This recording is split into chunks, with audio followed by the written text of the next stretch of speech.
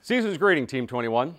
As we close out 2014 with festivities of holiday joy and celebrations, it's also a time to reflect, be thankful, make smart decisions, and care for your battle buddy.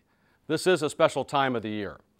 With so many accomplishments now in our rucksacks, I couldn't be more proud of you and all the sacrifices you've made in support of our global missions.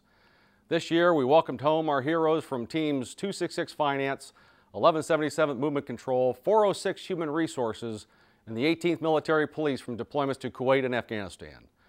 Our 18th Engineer Brigade cased their colors after almost 90 years of dedicated service in Europe, and our recent efforts in Romania demonstrate the importance of joint and multinational partnerships. More than 150,000 troops have transited through our facilities this year as the Afghan mission draws closer to an end. And in addition, we've trained countless hours with our NATO counterparts, not to mention the great work of our regional support element in Africa. All our 21st TSC units have won Department of the Army and higher level awards recognizing their excellence in supporting national defense. These are only a few of the many accomplishments highlighting ready strong professionals. As we close out the year, take advantage of some well-deserved downtime with your family who selflessly support you each and every day and be sure to show them the gratitude for your sacrifices.